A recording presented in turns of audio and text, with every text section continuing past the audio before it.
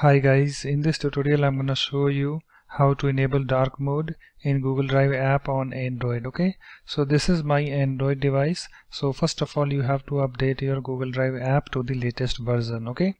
So just open your Google Play Store. So here is my Google Play Store. Let me tap on this to open it. You can see it's opened. And after that uh, just do a search for Google Drive okay? So let me do that okay? So here is my Google Drive app. Just tap on this to open it. You can see it's opened. And you can see guys I don't have any update button over here. Uh, that means I have the latest version of Google Drive app okay? If you see the update button just tap on the update button and it will update your Google Drive app okay? And after updating just tap on this open button over here. And also you can go back and find your Google Drive app over here okay so let me find mine.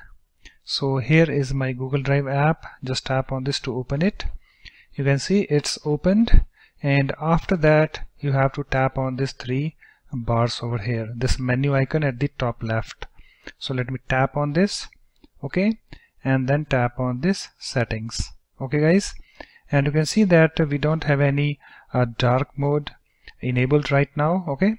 So just open the settings and find this theme okay? So here we have this choose theme. Just tap on this. And also guys if you don't see this option over here so you have to wait because Google is rolling out this feature and you will get it very soon okay? So just tap on this choose theme under this theme. So let me tap on this. And you can see here we have the pop-up choose theme. And here we have three options. A dark light set by battery saver okay? So in order to enable the dark theme you have to tap on this dark. So let me tap on this. And you can see guys dark mode is enabled in Google Drive app okay? So let me go back and you can see.